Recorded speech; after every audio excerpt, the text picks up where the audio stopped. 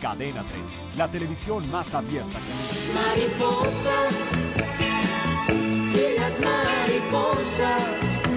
Esta vez en el túnel del tiempo de No lo cuentes nos remontaremos al año 1983 cuando Joan Sebastián se consolidaba como cantante y compositor a través de su romanticismo y una imagen casual que dista mucho de la campirana que hoy conocemos del cantante.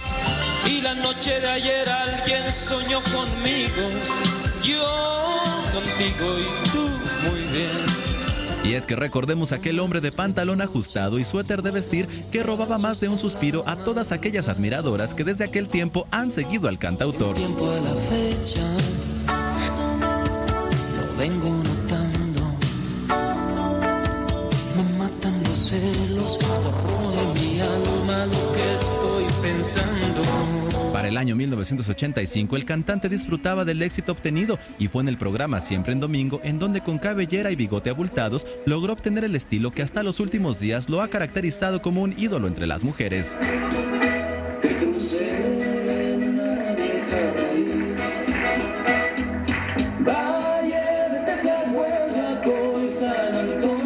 No tardó mucho tiempo para que su talento lo uniera junto con grandes cantantes de aquellos tiempos, logrando así conseguir el cariño del público a través de su amor y entrega en el escenario.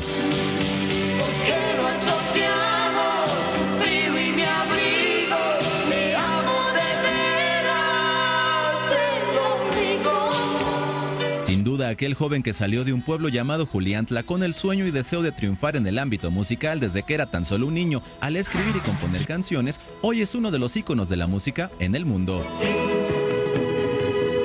Gustavo Adolfo Infante, suscríbete a nuestro canal de YouTube y entérate antes que nadie de lo que hacen tus artistas favoritos. Empieza ahora mismo dándole clic a estos videos.